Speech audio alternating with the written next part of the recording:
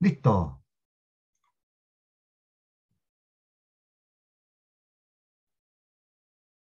Mi cámara la tengo de...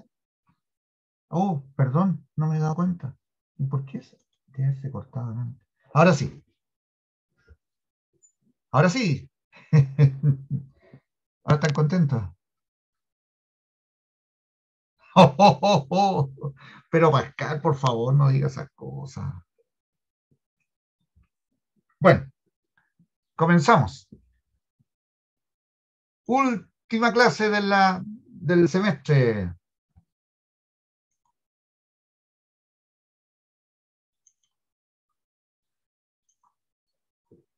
Neopixeles. ¿Los conocen? Más de alguno va a decir que sí.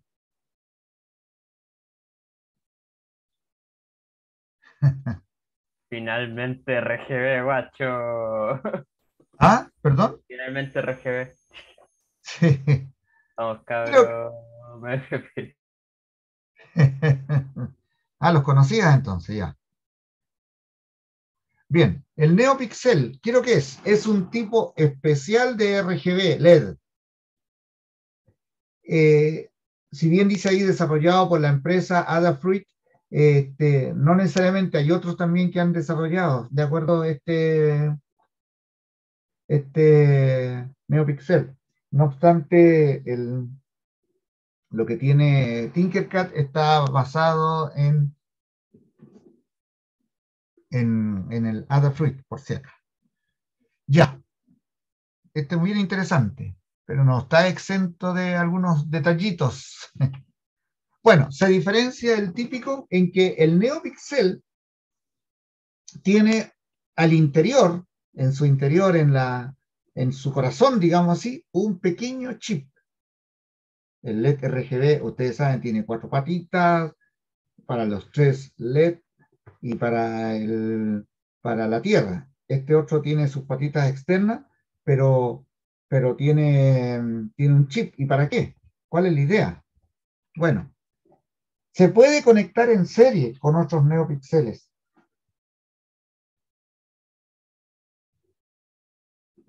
Y además, debido a, su, a, ese, a ese circuito, con un solo pin digital se puede controlar el color de cada LED que yo pueda tener concatenado en la secuencia. Obviamente que eso tiene que ver con programación. Este es el NeoPixel. Una forma de ponerlo, porque hay otro que, es, que, se ve mucho más, eh, más, más compacto. Esto es una, es una, ¿cómo les podría decir?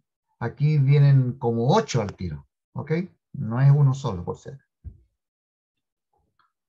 Bueno, sigamos. En el circuito anterior hay líneas de control y de alimentación. Estas son de alimentación, la tierra, y dice ahí en 4, porque está con un circulito ahí, de 4 a 7 volts dos tierras tiene, pero puede ser una sola, en realidad, normalmente se usa, se usa una sola tierra, ¿de acuerdo? Ese es por un lado, y hay un de out, data out, y el otro lado está el data in, y exactamente igual, exactamente igual.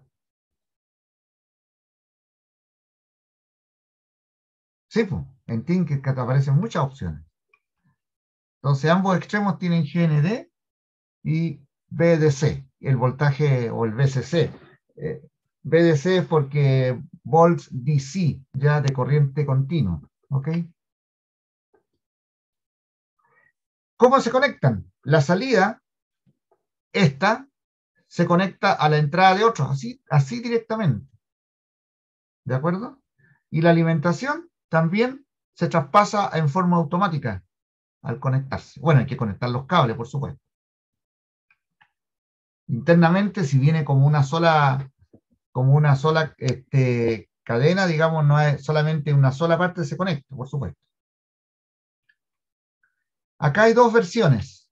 Esa, la que yo les contaba, fíjense, 5 milímetros. 5 milímetros, o sea, medio centímetro. Ese es el tamaño tradicional. Hay otras que son de 8 milímetros, pero el estándar es de 5. y eso que está acá, ese es el circuito integrado, que es el que maneja esta parte de aquí de, de las entradas y salidas. ¿De acuerdo? Esta es la primera versión WS2812 y esta es la 2812B. Y si ustedes se fijan, se ha reducido ya una tierra y se ha puesto de una manera mucho más cómoda la forma en que se ponen los, los pines, los terminales. ¿Bien?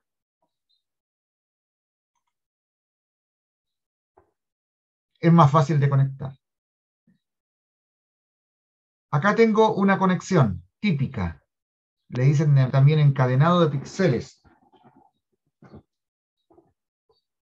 Al conectar a uno, se conecta automáticamente a todos los otros. El de in viene la entrada, el control, digamos así, y la salida se conecta con la otra entrada y la salida se conecta con la otra entrada. Y las tierras también son comunes. Ese es más o menos el sistema. Bastante simple, bastante sencillo. ¿Ok? Nótese que los neopíxeles, ¿se acuerdan? La primera, el primer elemento no tiene cables. Lo originalmente lo que hacía la gente era soldarlos. Bueno, ahí se me cortó el pedacito, no sé por qué se cortó. Yo quería mostrar esto. Aquí, esto es una soldadura. Entonces, con este tipo de conexiones, ya decía, se podemos conectarlo y, conectamos los, los tres pines, ¿no es cierto? BCC tierra, y de la salida también, por el otro lado también se, pone lo mismo, se conecta con el otro y así sucesivamente. El de out se conecta con el de in. Por eso que existen las llamadas tiras de neopíxeles. Ahí tenemos uno. Miren los jóvenes todos con su chip ahí, ¿ven? Y si ustedes se fijan, este de la, el, el de out se conecta con el de in. Las tierras van conectadas, los 5 volt también, el de out con el de in, y así sucesivamente. Aquí tenemos un pedacito de una pequeña tirita. Bueno, y Tinkercad, como ya dijo Pascal, tiene esa opción la versión unitaria. Este es el, el la data in, data out. Estas son las tierras y estos son los, los BDC o BCC o 5 volts. ¿Ok? Eso es todo lo que tienen que saber. Y por supuesto, aquí tenemos una 4 neopíxeles. ¿Se fijan cómo están conectados? 6 neopíxeles Y hay otras más largas, por supuesto.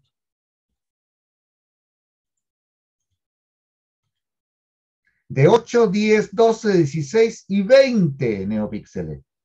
¿Ok? Aparecen así en el Tinkercad. 20 neopíxeles.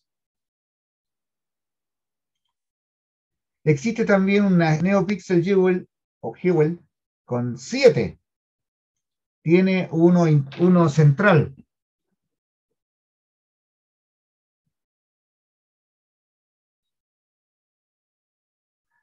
Ah, tienes uno al lado, Renton,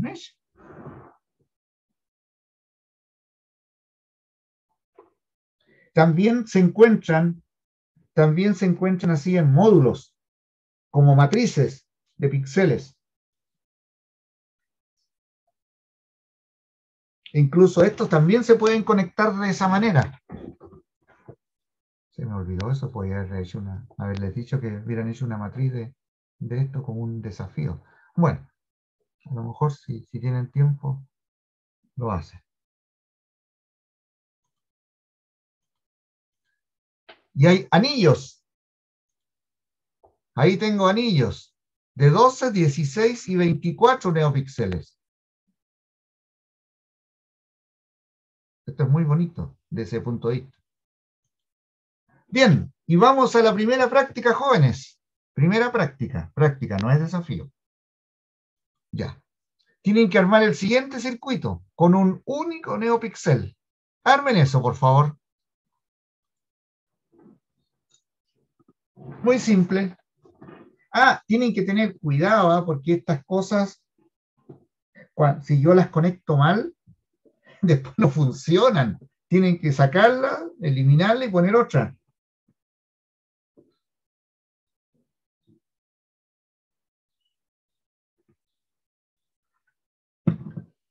Se podría decir que la versión virtual muere.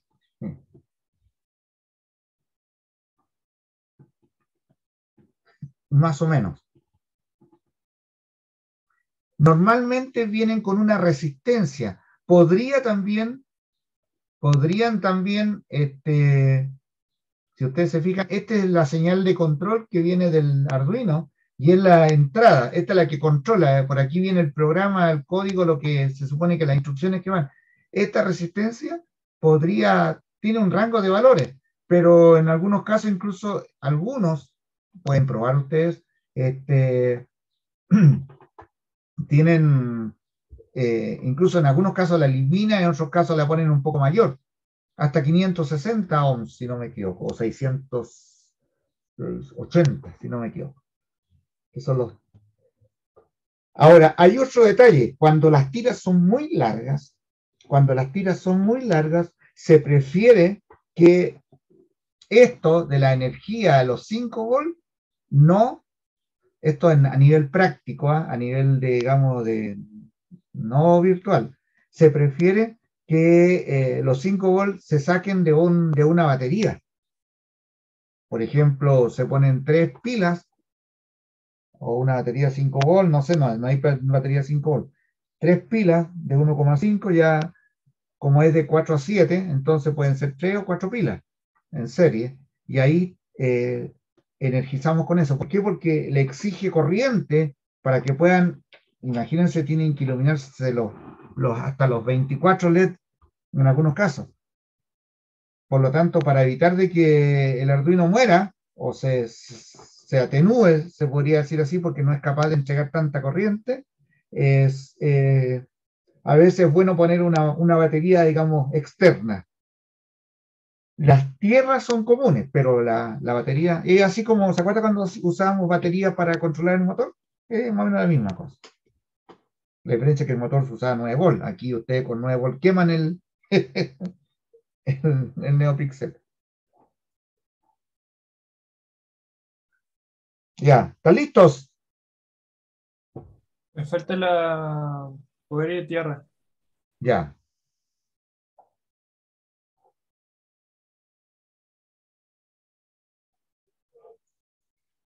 Armar eso, como digo, es sencillo.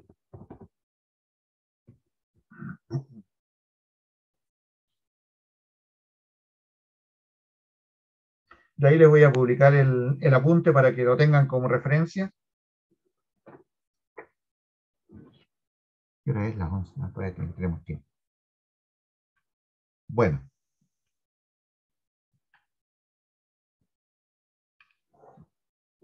Obviamente que la salida esta no, se conecta nada porque no hay otro, no hay otro, este, otro neopixel. Bueno, ahí están los, los comentarios que les contaba recién. Bien. Para programar tienen que usar la librería adafruit-neopixel.h. Esta ustedes ya saben cómo se descargan las la, en Tinkercad, cómo se descargan las librerías, ¿no es cierto? van ahí al código y hay una opción que dice bibliotecas, pinchan ahí y, la, le dicen incluir. Al incluir, les aparece inmediatamente, digamos, el, el adafruit.h. Algunos comandos, ahí les puse una dirección, si quieren ver más, de repente pueden necesitar ver algún comando especial. Ah, esta es una de las, opciones que tiene, creo que de la misma empresa Adafruit. Eh, pero lo primero que se pone es esto. Fíjense. Adafruit NeoPixel, así con estas mayúsculas, estas minúsculas, etc. Aquí viene, este es, este es como la clase la, de la biblioteca. Aquí viene el objeto y se pone inmediatamente. También se puede poner Adafruit NeoPixel tira como una tira se refiere ya a un strip también puede ser. Igual, también se pone igual a Adafruit NeoPixel con estos parámetros, pero no es necesario, basta con ponerlo así nomás. Let count, let pin, neo GRB y neo KHZ800. Es lo primero que va. ¿Qué significa cada una de esas cosas? El let count dice cuántos píxeles o neopíxeles tiene la tira. ¿De acuerdo? Mínimo uno, obviamente. El segundo es el número del pin con el cual ustedes van a tener que controlar el, el, el NeoPixel. Número pin del pin del Arduino. Aquí no es necesario declarar ese pin como de salida, porque ese está incluido, incorporado cuando se pone acá. ¿Ok? Tercero, Neo GRB, que tiene que ver con un modo de conexionado de los píxeles. Nótese, ahí el GRB es Green, Red, Blue. Cómo están organizados, cómo lo organiza internamente el circuito integrado.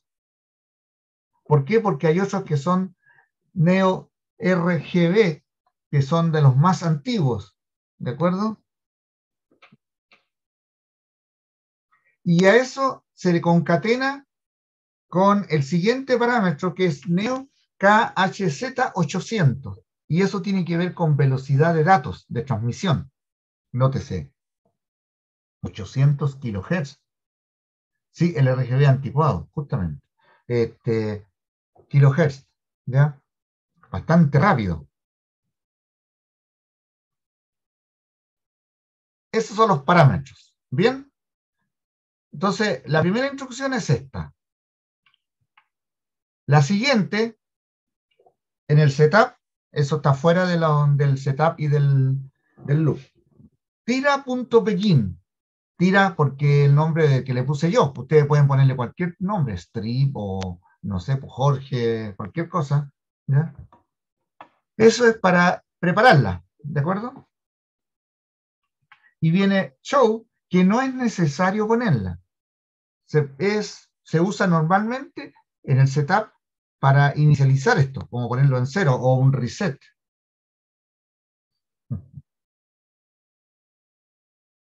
¿Estamos? Sigo. Está tira.set o brightness, eso es. Con un valor, con un parámetro, que es un número entre 0 y 255. 0 es máxima oscuridad y 255 máximo brillo. Estas en general son brillantes. Por lo tanto, en el ejercicio yo puse creo 80 o 100, no me acuerdo, y con eso es suficiente. Pero ustedes pueden probar y viendo valores más altos si quieren. Pero si lo ponen en, en 5, no va a iluminar mucho. ¿De acuerdo? Y esto también es tremendamente importante. Este es el que dice el set pixel color que tiene cuatro parámetros. Bueno, RGB son los valores para la combinación entre 0 y 255 y el N es el número del píxel. Si hay una tira de píxeles, si hay una tira de píxeles, el primero siempre va a ser el 0, el otro va a ser el 1, el 2, el 3, el 4, el 5. Y esos están ubicados, si no me equivoco, de derecha a izquierda. O de izquierda a derecha, de izquierda a derecha. Me quedé con la duda. Hay que ver eso. Es cosa de que uno lo programe y diga el pixel 5, el número, o sea, o el 1, y ver cuál se prende, si el de la extrema derecha o la extrema izquierda. ya me puse político. Un código típico. Aquí, este es el código que ustedes van a copiar para el circuito anterior. Esto lo ingresan de la, de la biblioteca. Aquí está la Fruit NeoPixel Tira. Aquí yo le puse 1 porque es un solo NeoPixel el que estamos usando. 4 porque 4 es, el, en este caso, el conector. ¿Se fijaron el cable donde iba al, al, al, pin digital 4? y ahí viene después el Neo GRB más Neo KHZ 800. Viene el setup, begin y show. Después yo le pongo tira set brightness, ¿no es cierto? De 100 le puse. Y hago un for para que en este caso el rojo lo parta desde, desde cero, o sea, totalmente apagado, y vaya gradualmente aumentando su color, su intensidad, hasta llegar al 255. Lo puse a 5 para que fuese un poquito más rápido nomás. Y le doy un delay de 300. Ya, implementen eso y pruébenlo, por favor. Implementen y pruébenlo. Si no le funciona, vean el, el primero vean que el, que el, código está bueno. Si no le funciona, probablemente tuvieron un error ahí en el, en, la, en el conexionado. Intenten arreglar el conexionado. Si no les funciona, tienen que cambiar el, el NeoPixel. Ponen otro nuevo.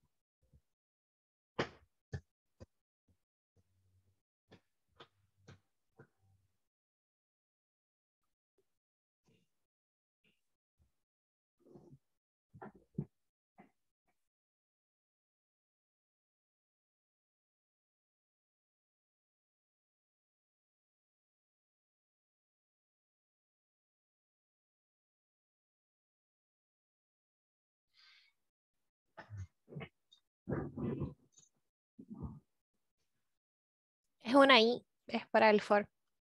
¿Ah? No, que preguntan el blanco Ah. que el cursor sea un 1, es la I. ¿Cuál cursor? Ah, es una I. Dije, he puesto la, el cursor ahí. Tienes razón. Lo siento, Blanco.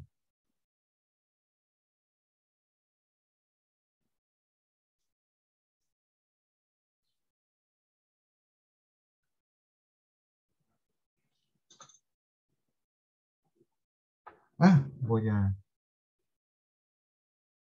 dejar de poner una pausa de grabación.